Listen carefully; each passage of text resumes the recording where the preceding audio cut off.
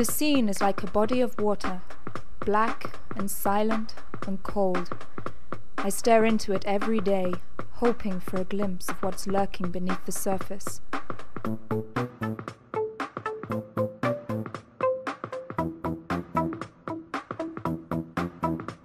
I could tell my friends, but they think I've lost it anyway. That this is just a passing.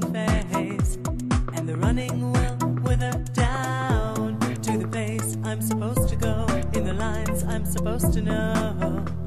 I haven't yet figured out.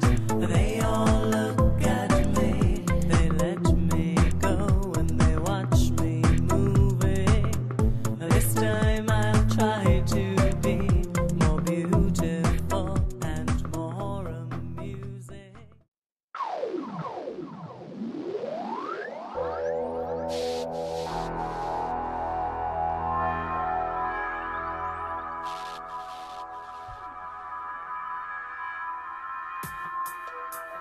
Mischievous provocation,